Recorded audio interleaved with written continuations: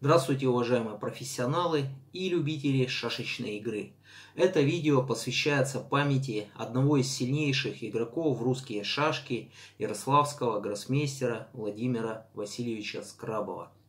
Владимир Васильевич был не только отличным игроком в русские шашки, но также и добрым и чутким тренером, великолепным организатором и судьей шашечных соревнований, а также популяризатором шашечной игры. Он вел сразу же два одноименных канала э, про шашки.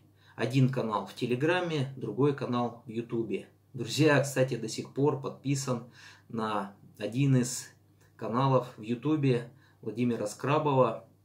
Ссылку оставлю в описании этого ролика. Поверьте, там есть много интересных шашечных стримов, достойных вашего внимания. Друзья, я пересмотрел много интервью с Владимиром Васильевичем и пришел к следующему выводу. Э, главной своей задачей в, тренерской деятельности Владимир Васильевич ставил не создание шашечных чемпионов, а воспитание в детях настоящего человека, человека с большой буквы, через э, приобщение к шашечному искусству, красотам шашечной игры и шашечных комбинаций и этюдов. И, друзья, давайте сегодня рассмотрим несколько комбинационных партий из творчества этого выдающегося гроссмейстера. Первая партия э, между Василием Максимчуком и Владимиром Скрабовым. Э, Василий Максимчук также великолепный игрок и тренер из э, поселка Татарбурнары Одесской области. CD4, BA5, DC5. Разыгран так называемый дебют кол. Черная игра от FG5, белая игра от GF4. Черная игра от GH4, белая игра от BC3 черная игра от GF6. Но обычно в этой позиции либо размениваются FG5, либо играют CD4. Но Василий сыграл АБ2.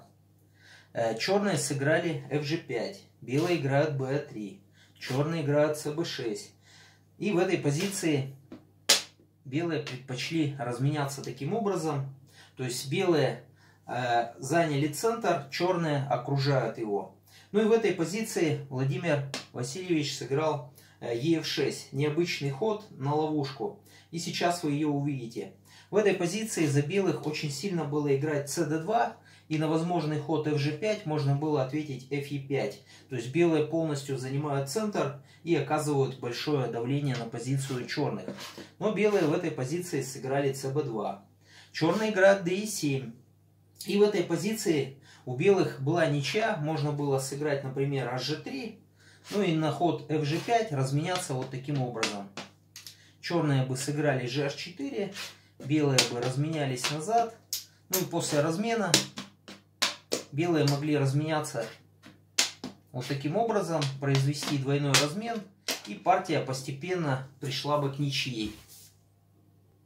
Но белые в этой позиции сыграли ED2, и черные провели разгромную комбинацию.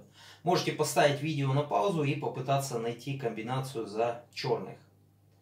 Черные сыграли HG5, затем FE5, пропустили белых дамки и затем после размена э, бел... черные проводят комбинацию под названием лестница. Очень эффектная комбинация. Отдаем одну шашку, ловим первую дамку.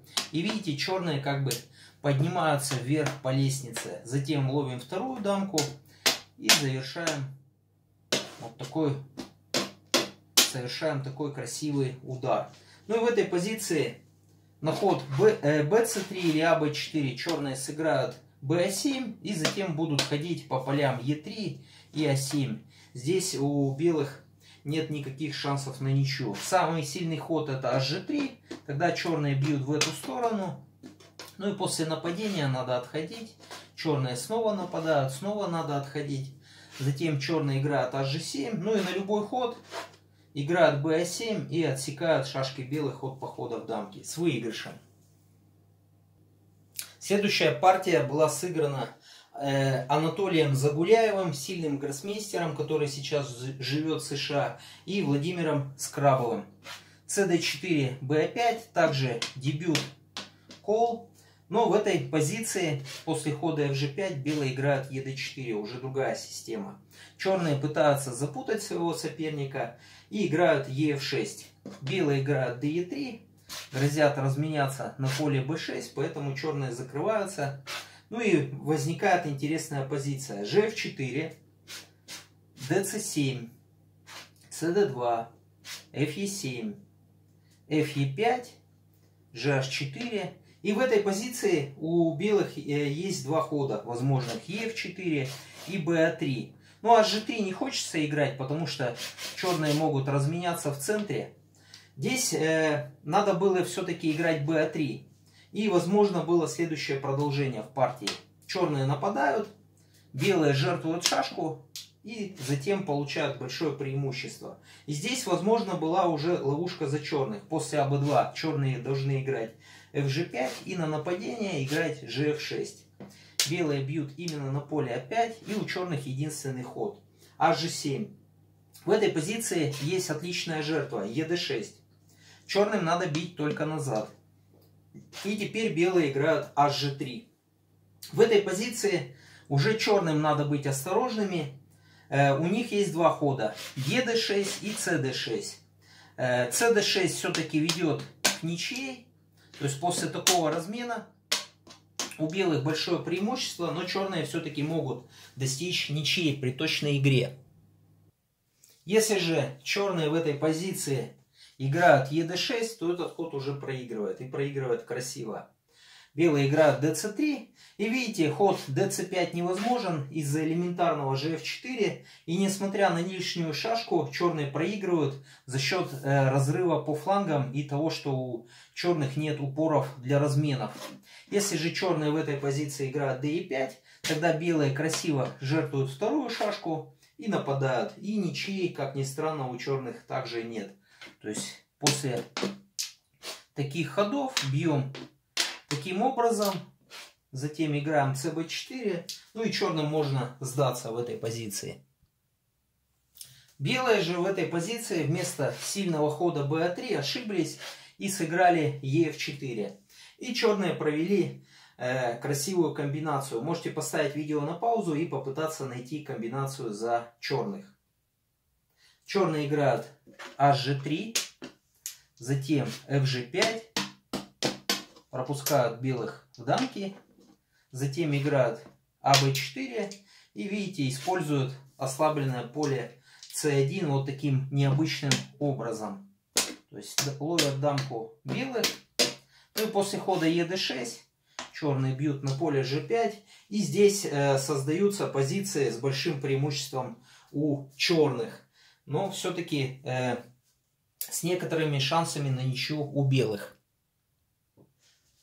Друзья, я в детстве играл с Владимиром Васильевичем Скрабовым в сеансе одновременной игры. И, друзья, мне удалось даже сделать ничью. Э, приятное воспоминание. Но э, в турнирах Гамблера все-таки ни разу даже в ничью не сыграл. Играли всего три раза с Владимиром Васильевичем, и все три партии я проиграл. И одну из э, таких партий я хочу вам показать. Она интересна своим этюдным выигрышем.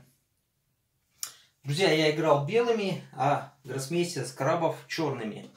CD4, DC5, DC3 моя любимая система.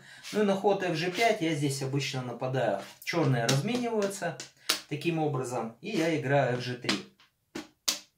В этой позиции лучше всего играть именно BC5. Ну, естественно, ED6 нельзя из-за элементарного ударчика. То есть играем АБ4, затем BC5. Э, белые отыгрывают шашку, затем ходом ЕД2 забирают шашку Е3 и должны победить создавшейся позиции. Естественно, гроссмейстеры на такие детские ловушки не попадаются. И далее в партии было БЦ5. Я произвел двойной размен. Черные развивают свой сильный левый фланг. GF6, FE3, FE5. Я предпочел здесь разменяться назад, не давая черным напасть ходом ЕД4.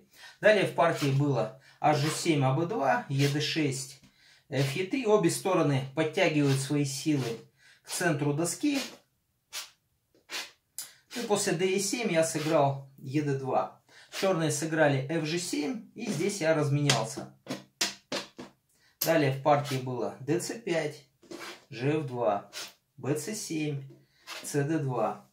И в этой позиции черные сыграли CD6. Тут, друзья, я понял, что надо думать. Вроде простая позиция, но на самом деле уравнять ее не так-то просто.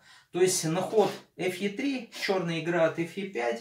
Ну и видите, хода FG5 нет, так как черные нападают и белым остается только сдаться. Между тем в этой позиции после хода Fe5 была тонкая ничья, которую я не заметил.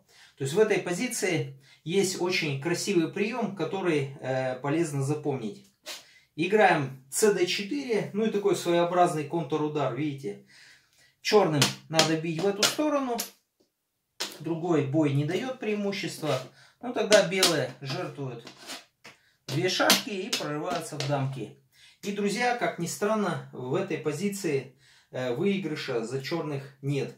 То есть, э, будь дамка черных, допустим, на поле b8, был бы выигрыш. Но черные здесь, видите, не могут увести свою дамку, так как белые тут же разменяют шашку А5 и достигнут ничей. А если играть dc5, то тогда э, эта позиция ничейная. Черные здесь выиграть не могут.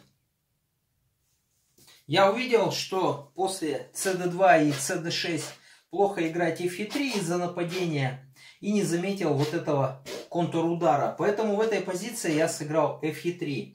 Я видел, что здесь черные проводят э, небольшой ударчик, но не боялся его. То есть черные играют АБ4, затем СБ6, затем ЕД6 и прорываются на преддамочное поле.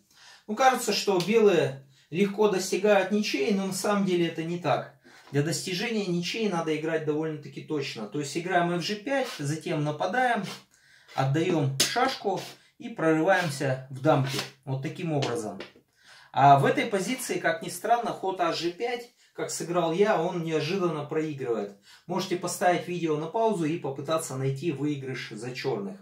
Он довольно-таки симпатичный и неожиданный. Черные играют Fe1, ставят дамку на поле E1. Ну и тут я увидел, друзья, что нападать на шашку черных нельзя, так как черные тут же ловят мою дамку. Ну и затем отсекают мои шашки от похода в дамки. Вот таким образом. То есть хода Fe5 нет из-за простого CD4.